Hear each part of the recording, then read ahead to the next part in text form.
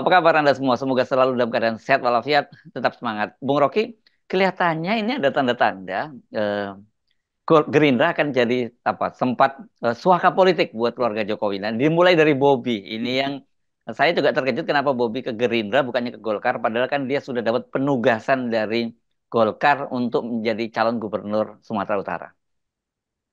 Semua akhirnya mengerucut politik Jokowi, politik dinasti Jokowi, hmm. akhirnya mencari suaka yang paling aman itu dan itu pasti ke Gerindra. Hmm. Karena di situ ada Gibran. Ya. Kalau di Golkar ya bisa juga dimainin sama Golkar tuh dipancing-pancing, tapi hmm. Golkar kan punya sistem yang eh, lebih otonom daripada eh, Gerindra karena di Golkar ya nggak ada unsur Jokowi di situ, walaupun Jokowi punya akses masuk ke Golkar.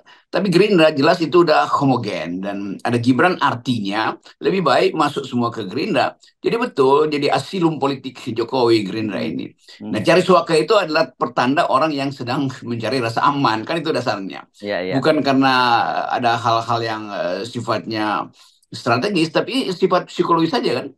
Secara hmm. psikologis tentu Pak Jokowi percaya bahwa Gibran tidak akan dipreteli kekuasaannya oleh Prabowo kan ada perjanjian di situ tuh. Hmm. Sebaliknya pada Golkar tidak mungkin ada jaminan semacam itu karena anak-anak muda Golkar itu dari awal e, melakukan semacam perlawanan kultural yeah. pada uh, Gibran walaupun secara formal ya ada di 02. Jadi saya kira benar bahwa nanti juga Kaisang ikut di Gerindra tuh. Nanti juga di, dipersiapkan uh, menantu-menantu Pak Eh, Jokowi harus satu suara bulat ke Gerindra.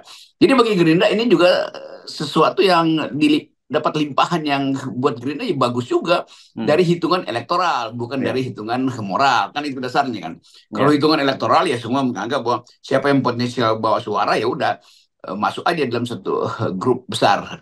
Jadi yeah. koalisi besar yang dibayangkan oleh Pak Prabowo akhirnya berubah menjadi koalisi besar di dalam Gerindra sendiri. Iya iya iya. Oke, kan sebelumnya Ya artinya ko ko koalisi dia koalisi yang dibawa oleh Jokowi itu uh, dinasti dia yang ya. bermukim ya. atau mencari suaka di Gerindra. Ya, dan uh, kal kan gini kalau kita lihat tadi kalau kita uh, dengar sebelumnya kan bahkan uh, orang seperti Gibran tadinya mau ke Golkar ya, Bung Rocky bahkan sudah disiapkan jaket kuning tapi batal gitu. Ya. Jadi Anda menduga setelah Bobby ini, ini nanti akan menyusul juga yang lain ya. Saya kira uh, Gibran otomatis dan Bagaimana bahkan mungkin Pak Jokowi juga gitu Bung Rocky. Iya itu artinya Jokowi kan cicil dulu nih, ditaruh hmm. dulu nih. Kalau Hmm. Kalau zaman Belanda dulu bupatinya dipengaruhi dulu, nanti nah. bupatinya pengaruhi Wedana, Wedana hmm. pengaruhi camat, camat pengaruhi lurah kan itu hmm. dasarnya begitu. Ini politik yang satu satu akar yaitu akar uh, kekuasaan. Saya nggak mau sebut ketamakan kekuasaan walaupun itu sebetulnya ujungnya. Tapi akar kekuasaan Jokowi itu harus dia pelihara terus minimal kira-kira 15 tahun ke depan. Hmm. Karena menunggu uh, orang lupa pada hal-hal yang pernah dilaporkan soal Gibran dilaporkan Ubaidillah dan eh, soal-soal uh, yang lain juga yang menyangkut uh, money laundering juga menjadi alasan misalnya pada Pak Jokowi untuk mulai menyusun kekuatan jangan sampai soal-soal yang disembunyikan atau tertutup karena akses politik beliau itu bisa dibuka lagi ketika ada perubahan politik yang drastis, yang radikal misalnya. Hmm. Jadi masuk akal dari kalkulasi uh, post Machiavellian saya sebut aja post Machiavellian bahwa Jokowi tentu berhitung sangat jauh tuh konsekuensi-konsekuensi dari tindakan dia. Jadi Pak Jokowi memang orang yang akhirnya menjadi politisi tulen untuk menghitung kapan dia bisa keluarin ancaman, kapan dia harus minta dibujuk, dan kapan dia bisa menyelundupkan kepentingan dia secara formal, yaitu melalui partai politik. Tentu ada yang informal, yang informal yaitu penggunaan uh, sistem intelijen, karena bagaimanapun Pak Jokowi masih presiden. Jadi segala hal yang pernah kita duga dari awal bahwa Jokowi akan memaksimalkan jaringannya untuk uh, memberi dia rasa aman pasca dia lengser. Jadi itu yang mulai terjadi sekarang. Ya, ya. Dan saya jadi teringat ber, uh, Anda berkali-kali kan menyatakan bahwa uh, Pak Jokowi itu sebenarnya sedang mencari uh, rasa aman atau perlindungan pada Pak Prabowo gitu dan uh, sekarang ini mulai mulai mewujud itu ya yang apa Anda Anda konstatir sebelumnya itu.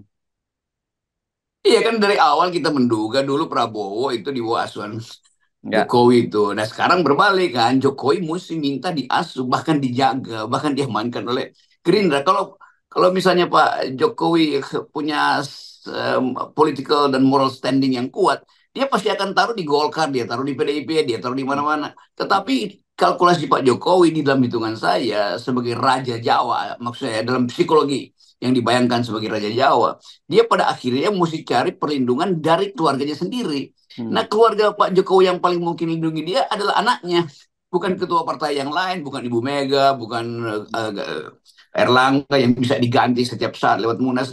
Tapi Jokowi memang ngerti bahwa hanya anaknya yang bisa melindungi dia. Jadi Gibran itu pasti diproyeksikan untuk jadi presiden 2029 untuk melindungi keluarganya tuh. Saya pakai kata melindungi ya, dalam dalam pengertian yang yang uh, uh, moderat. Jadi kalau melindungi kasar ya itu artinya ditaruh bodyguard itu. Jadi dilindungi dari potensi orang mempersoalkan masalah-masalah ketika Jokowi memerintah. Kan kita sudah bayangkan bahwa akan ada satu momentum di mana orang akan mempertanyakan ini kebijakan Jokowi di bidang A mengapa menghasilkan B, di bidang C kenapa dikendalikan oleh si E. Kan itu begitu. Hmm. Itu kan sistem kekuasaan yang atau sistem pertanggungjawaban kekuasaan.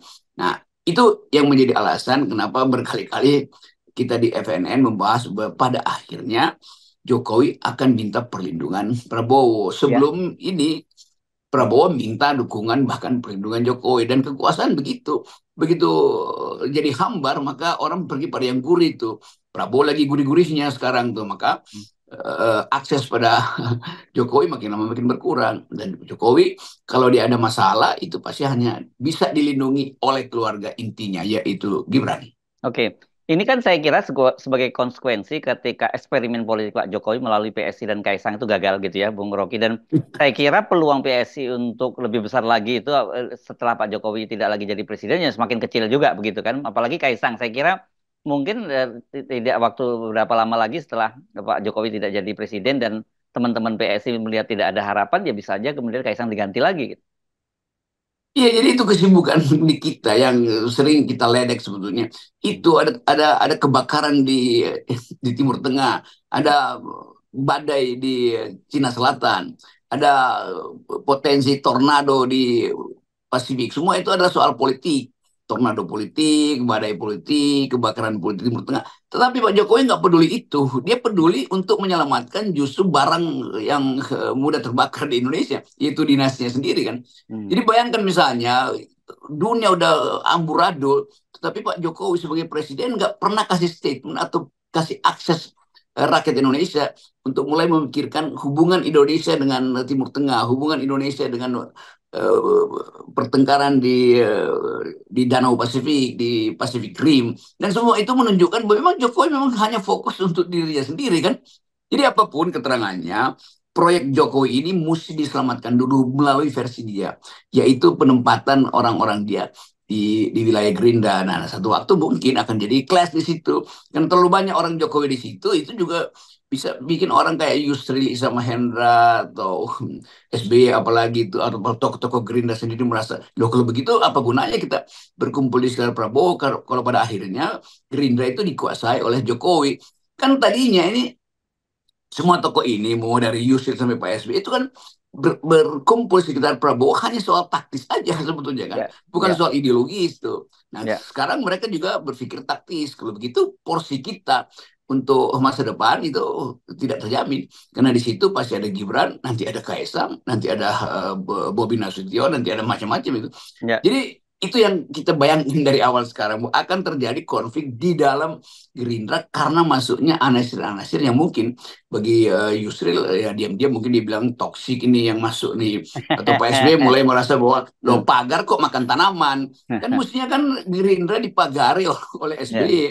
tapi oleh SBY Prabowo. Uh, oleh Prabowo Iya ya, ya sorry. Ya Prabowo dipagari oleh SBY tapi pagarnya eh, sekarang berganti ya karena ada orang lain robos.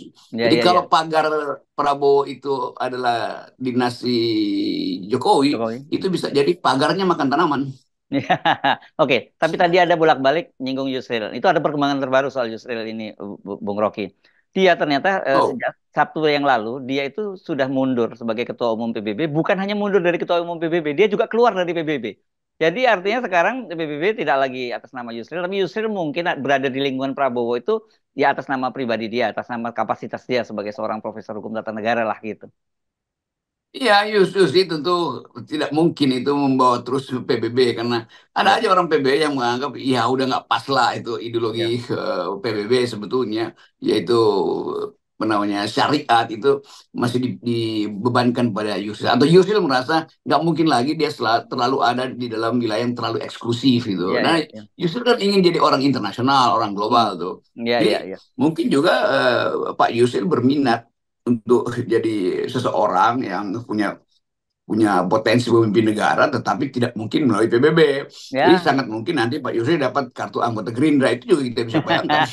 Nah, itu lebih menarik atau atau setidaknya sekarang ini dia kalau toh nanti masuk kabinet dia representasi profesional gitu, bukan partai politik lagi begitu. Oke. Ya kita tahu lah, ya. Yusri itu eh, cerdas dan cerdik sekaligus. Jadi Oke. mungkin dia senyum-senyum tuh ya ini soal kecil lah, yang penting ada akses untuk masuk dalam kekuasaan. Oke. Karena Yusri udah berkali-kali ada dalam kekuasaan dan itu kadang-kala eh, ketagihan tuh, addicted. Ya. Balik balik lagi ke soal tadi ya, so- soal Pak Prabowo dengan dengan Pak Jokowi ya.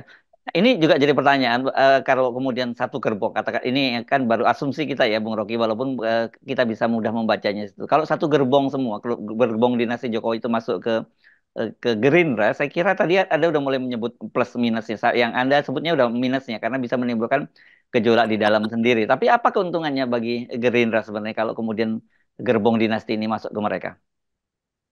kita mesti berpikir eh, cara berpikir Pak Prabowo yang Ya. betul-betul mungkin dia berpikir dalam dua periode ke depan mesti betul-betul aman itu karena gagal untuk membujuk PDIP maka harus ada fasilitas lain untuk menggantikan posisi PDIP paling tidak mungkin Gerindra berpikir toh pengaruh Pak Jokowi masih ada di partai-partai Hmm. eh, eh, pendukung Prabowo jadi Poin ini saya kira yang diambil oleh Prabowo untuk membuka pintu dan silakan masuk tuh. Kalau elekta- elektabilitas ya Prabowo menganggap ya ada tidaknya Pak Jokowi juga nggak ada pentingnya sebetulnya karena rakyat udah memberi dia eh, melebihi yang Ya. disumbangkan oleh eh, Jokowi itu.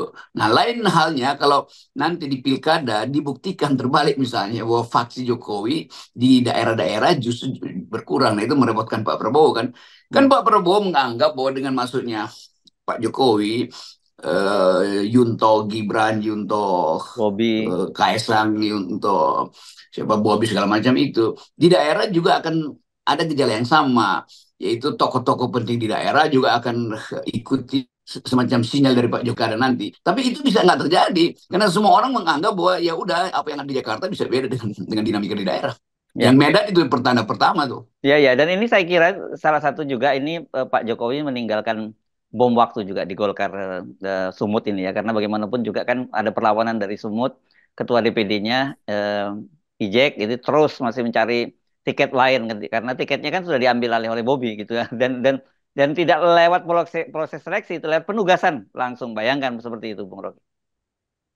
Jadi Jokowi. Dia tidak lagi punya semacam naluri sebagai kepala negara yang harus mengutuhkan bangsa ini secara politis. Kan perilaku Pak Jokowi itu menimbulkan ya apa gunanya jadi kader kalau bisa lompat-lompat itu dan Hmm. orang menganggap ya nggak penting kalau itu partai politik kan. Ya.